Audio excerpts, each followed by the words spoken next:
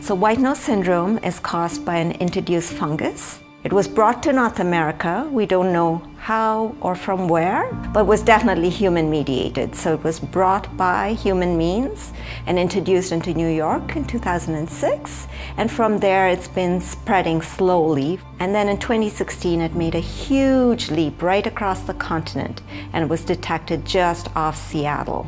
So now it's very close to BC and it's probably going to spread into BC in the next few years if it's not already here.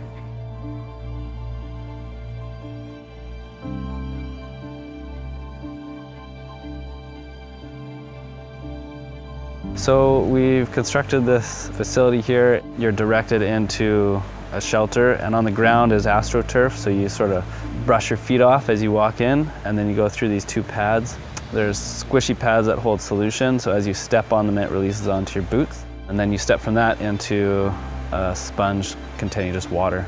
And that rinses your boots off so you're not tracking laundry detergent through the park. Invasive species are a big threat to biodiversity right now. Make sure your tire tracks are not bringing some seeds of invasive plants. Make sure some invasive animal is not hitchhiking a ride.